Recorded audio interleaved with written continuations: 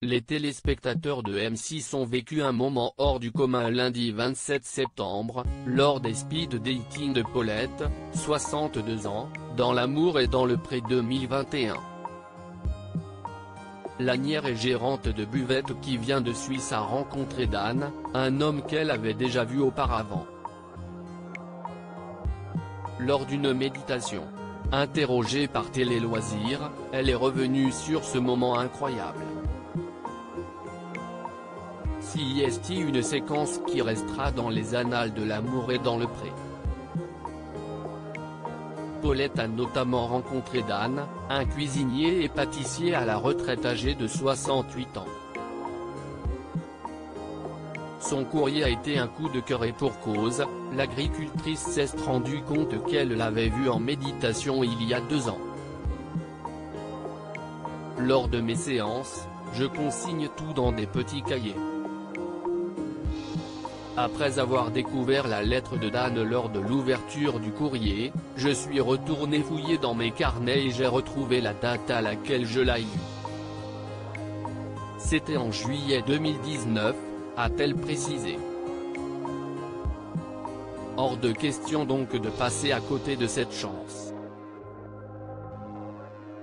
C'était la première fois que Paulette rencontrait une personne qu'elle avait vue en méditation.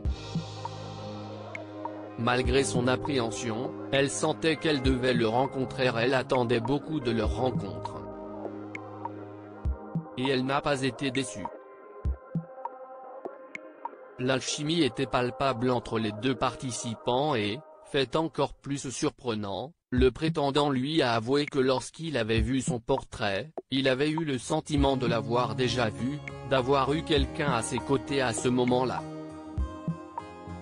Ça ne s'invente pas, si est simplement une évidence. Je crois aux âmes éternelles, qui passent de vie en vie. Je pense que nous avons tous des vies antérieures. Et je suis persuadé que j'ai déjà croisé Dan dans l'une de ces vies, a-t-elle poursuivi auprès de Télé Loisirs? Si Paulette en était si certaine, si est notamment parce que cela fait plus de 20 ans qu'elle pratique la méditation et la médiumnité? En outre, elle a depuis un don qui lui permet de parler avec l'invisible, avec l'au-delà. Et elle travaille en soins énergétiques, une pratique qu'elle met au service de ses animaux. Pour l'heure, on ne sait pas encore si CIST Dan qu'il a totalement conquise Gare, lors du début du séjour à la ferme, son rival Bruno, 63 ans, retraité, s'est rapidement démarqué.